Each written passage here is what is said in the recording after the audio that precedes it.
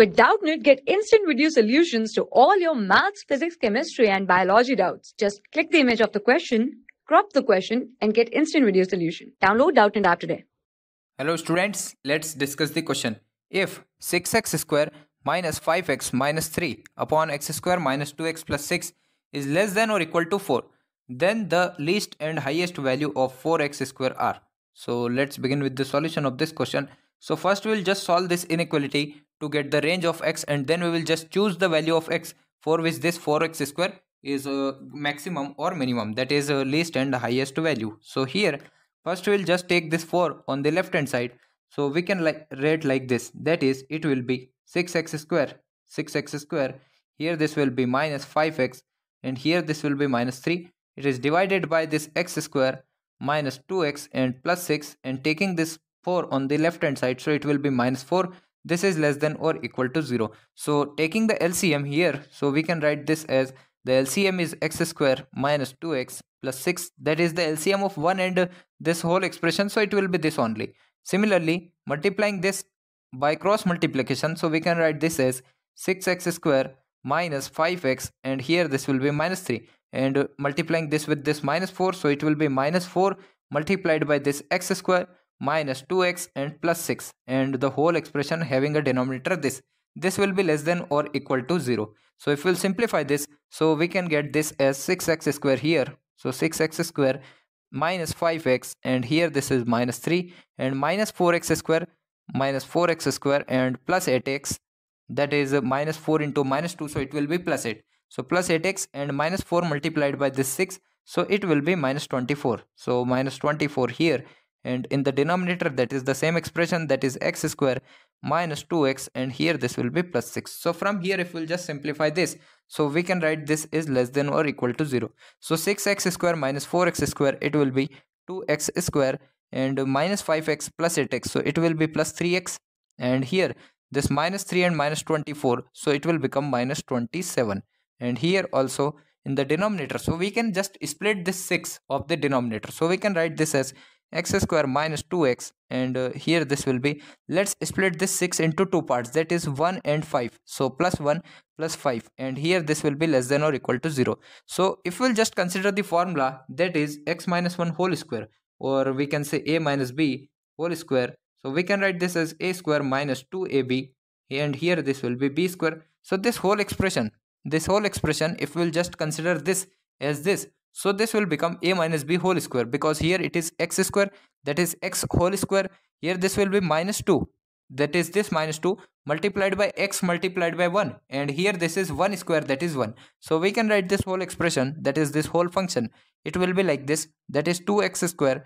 Here this will be plus 3x minus 27 and here this will be this x minus 1 whole square plus 5 and here this will be less than or equal to 0. Now if we will just observe this whole expression, so this denominator is always positive because this x minus 1 whole square, it is always positive or it can be 0 but cannot be negative. And since this 5 is a positive value so positive plus positive is always positive. So here we can write that this is always this is always positive positive value. So this is always positive it means that the sign of this whole inequality is decided by the numerator only. So we will just use the numerator to find the critical point. So first we'll just factorize this whole numerator. So here we can just write that it will be, the factor will be 9 and 6 because we can write this as 2x square and here this will be, let's split this 3 like this that is 9x minus 6x because we can write 9x minus 6x in place of 3x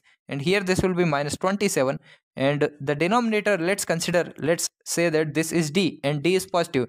So here this denominator x minus 1 whole square plus 5 this is always positive. This expression will be less than or equal to 0 so factorizing this expression that is this taking this x common from first two term we can write this as x multiplied by 2x plus 1 and taking 3 common from these two we can write this as minus 3 and here this will be this 2x plus 1 only. So this will be 2x plus 9 here.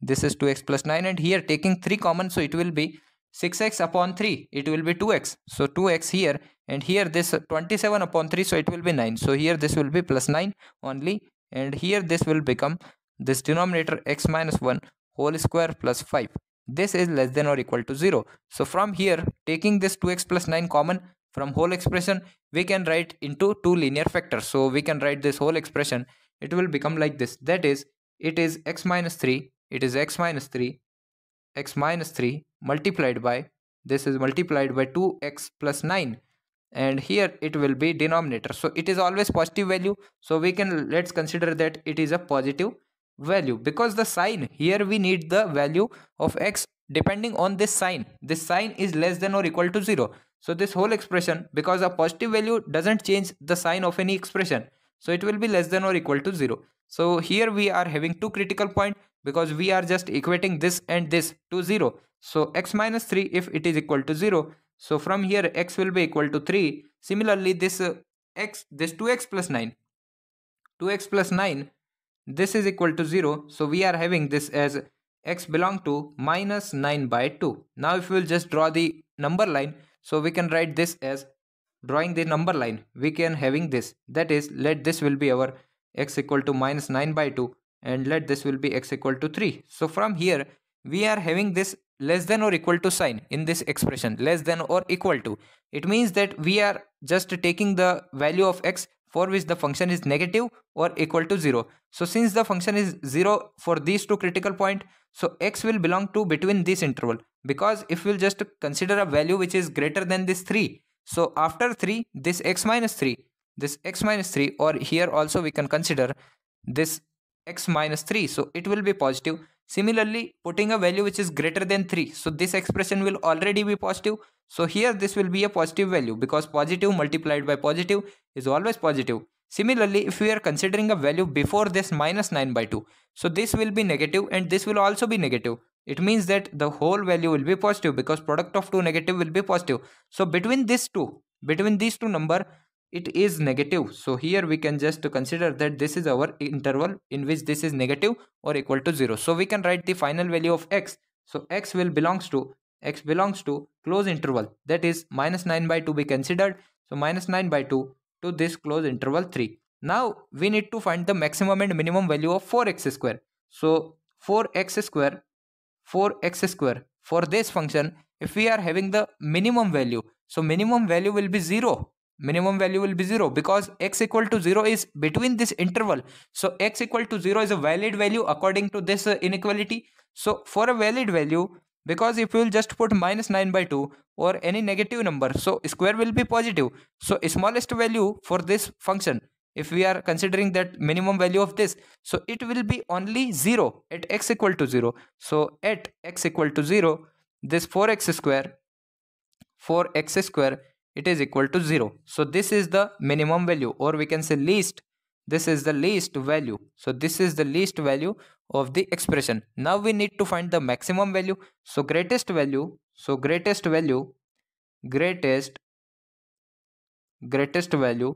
So since minus 9 by 2 minus 9 by 2 if we will say x equal to minus 9 by 2 it is equal to minus 4.5 minus 4.5 so square of minus 4.5 will be same as the square of 4.5.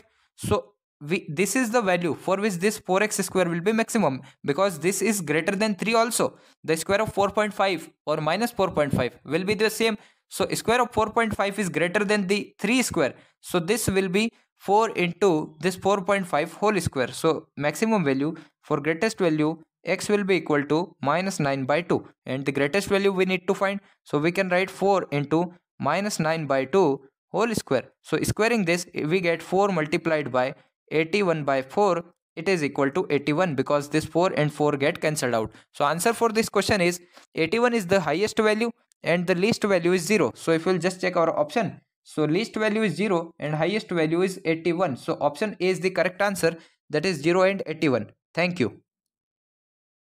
For class 6 to 12, IIT JEE and NEET level. Trusted by more than 5 crore students. Download Doubtnut App today.